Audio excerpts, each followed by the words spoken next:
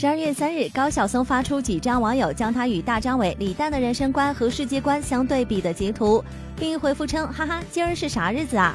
为啥忽然齐刷刷把母们仨放一块堆掰扯？硬把我五张老炮往二位青年才俊里踹？我吃过的盐比他俩走的路都多好伐。他俩都是我喜欢的人，唯独我认识大张伟二十年了，一直忘了问他小张伟是哪位来着。”随后有网友评论：“什么时候这三位聊聊天，做个节目，感觉很棒。”高晓松还回复他：“节目名叫《大蛋警》第一季。”高晓松一九八八年考入清华大学电子工程系，后退学进入北京电影学院导演系研究生预备班学习。如今的事业发展的顺风顺水。其实高晓松的父母、舅舅、祖父等都是高级知识分子。他的父亲高立仁是清华大学教授，母亲张克群是从著名建筑师梁思成国家一级注册建筑师。高晓松在这样的家庭环境下长大，难怪他可以在节目中侃侃而谈。